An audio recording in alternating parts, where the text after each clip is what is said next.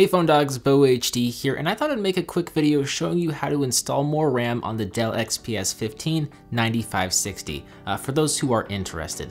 The whole process is actually very, very easy and doesn't take much time at all if you have the right equipment. You should be able to figure it out for yourself, but uh, sometimes a visual reference is always nice. So, according to Dell's user manual, you're going to need a Torx T5 screwdriver, Phillips screwdriver, and plastic scribe. However, the T5 screwdriver I purchased from Home Depot did not work, so I had to look online and order a T5.5 screwdriver, uh, which actually worked perfectly. I'm not sure if I had a bad T5 screwdriver in the first place or what happened, but just to be safe, I'd try and find a set with a 5.5 screwdriver just to save yourself a headache. I'll leave a link below to the one I have here.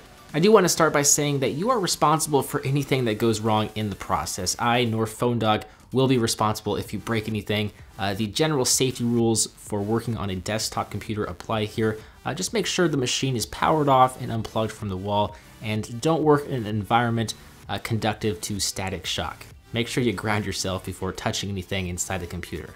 But the process is very simple. You'll just need to unscrew all 10 of the T5 screws using your Torx screwdriver. Once that is done, you'll need to pull open the metal XPS flap on the back to reveal two Phillips screws. They're pretty small, so a small screwdriver is recommended to avoid stripping the screws. Um, I used a rather large screwdriver and was able to unscrew them without stripping. Just be careful. Okay, now you can start lifting off the back cover. You will need to use a plastic scribe or just a thin plastic card if you have one in your wallet uh, to undo the top portion which is held in place by two little clips. There may be a little snapping noise or two since there is a little clip that you will need to unhinge. Um, if you're careful, you shouldn't break it. Just move the plastic scribe or card along the seam. And that is how you open up this laptop. Compared to many other machines out there, uh, there are very few screws, and the screws that are here are easily exposed and accessible. Dell makes it really easy to get inside the XPS 15. From here, you'll notice two RAM slots. The XPS 15 9560 utilizes DDR4 RAM at 2400 megahertz. I will be upgrading the 8 gigabytes here, which is in the form of two 4 gigabyte chips uh, with 32 gigabytes of RAM, which is in the form of two 16 gigabyte chips. So to remove the RAM, you'll need to pry apart the two prongs in each tray to lift up the chip, so you can slide the chip out. Then you'll want to insert your new RAM chip ever so carefully, making sure the pins line up with the sockets. And once that is complete, you just have to push the entire chip down towards the motherboard until the prongs close back around the chip. You should hear some sort of noise to uh, signify that the, the tray is indeed closed. And once you do that with both RAM sockets, that is it. You are done. You'll just need to put the back cover back on. You will notice two little clips at the top that will need to be put inside the laptop shell before you actually close the rest of it and start screwing the screws back in. Uh, basically, you'll know that you have done a good job if there are no large gaps along the edges of the laptop once everything is screwed in.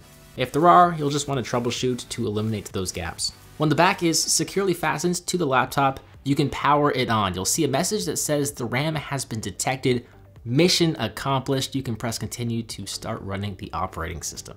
Just for fun, I ran a couple of benchmarks. I'm more familiar with benchmarking Android and iOS smartphones, but I did run some benchmarks on this machine to see if there's any noticeable difference in performance with the added RAM. I ran Geekbench 4, which tests primarily the CPU before and after the upgrade, with 8GB of RAM and of course the Intel Core i5 Kaby Lake processor, it spit out a single core score of 4024 and a multi-core score of 10,992. With 32 gigabytes of RAM, it spit out a single core score of 4,244 and a multi-core score of 11,475.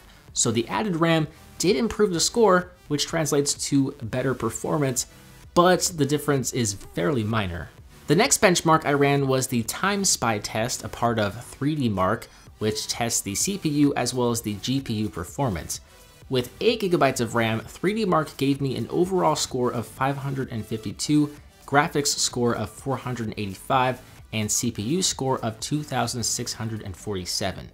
With 32GB of RAM, 3D Mark gave me an overall score of 1644, graphics score of 1530, and CPU score of 2,856. That, my friends, is a much different result than Geekbench 4, and it shows that if you're dealing with graphic intensive applications or games, the additional RAM is going to significantly improve the performance. With that said, I wish you the best of luck if you attempt this surgery. I hope this video proved useful for you. If not, maybe you learned a thing or two that could help you on your journey. I'm Beau HD from PhoneDog.com. Thank you for watching. I hope you enjoyed this video, and I will see you right back here in the next one. See ya.